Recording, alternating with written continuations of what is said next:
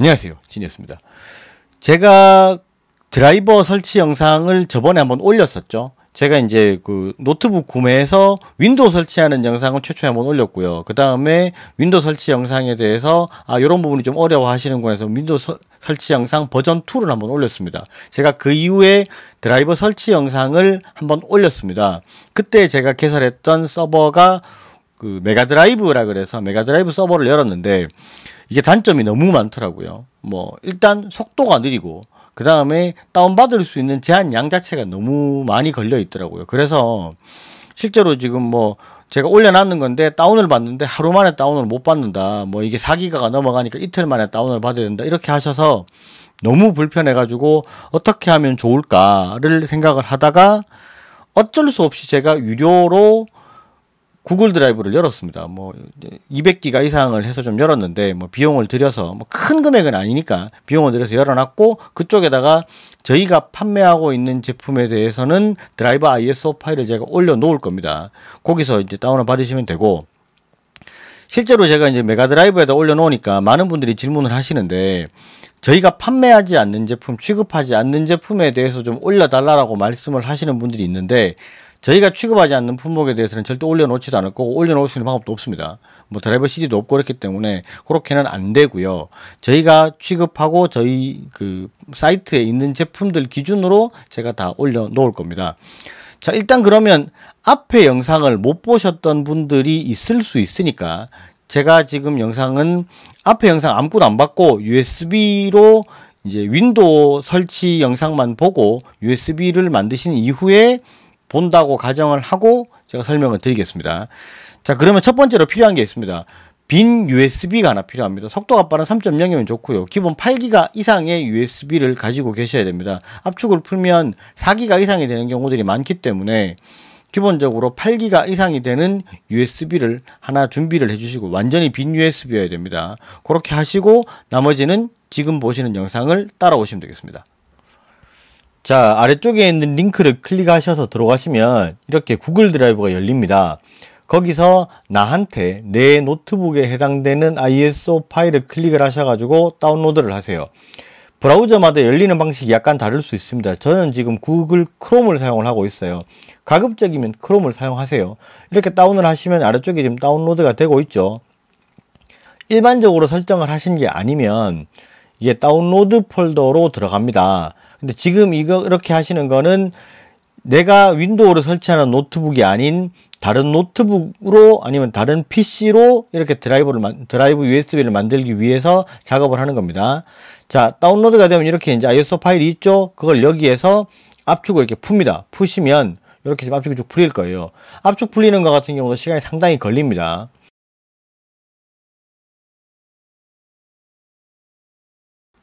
자 이렇게 압축이 다 풀리고 나면 주의하실 게 있어요. 자 이렇게 해서 폴더를 여시고요.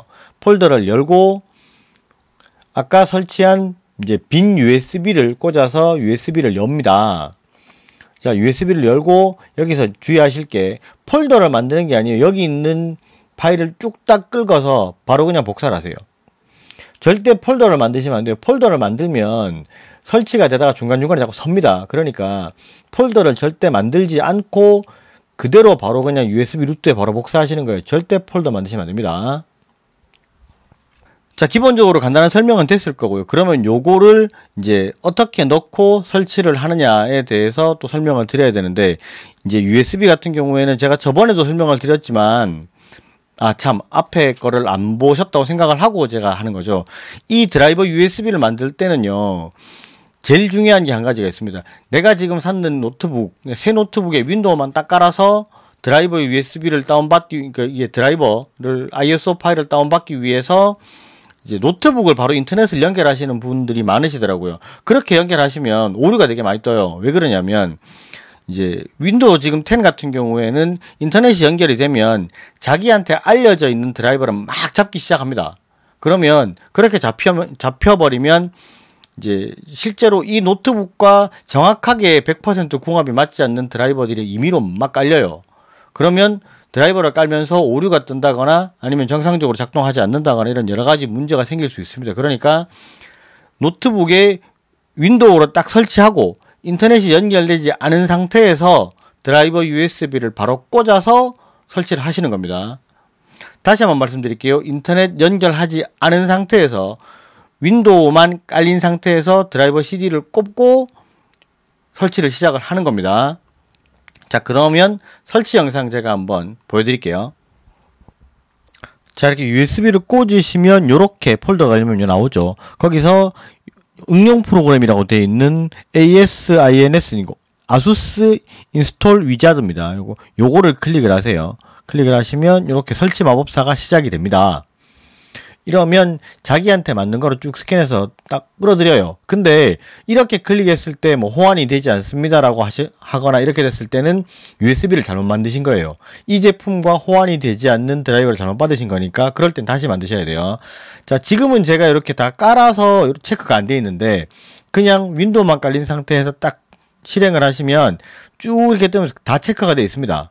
체크가 돼 있을 때는 제일 오른쪽 밑에 설치라고 나와 있죠. 제일 오른쪽 밑에 설치라고 나와 있는 버튼을 클릭을 하시면 바로 설치가 쭉 시작이 되면서 자동으로 알아서 설치가 다 됩니다. 이렇게 하면은 여러 가지 펑션이라든지가 다 설치가 되기 때문에 따로 하실 거는 없을 거예요.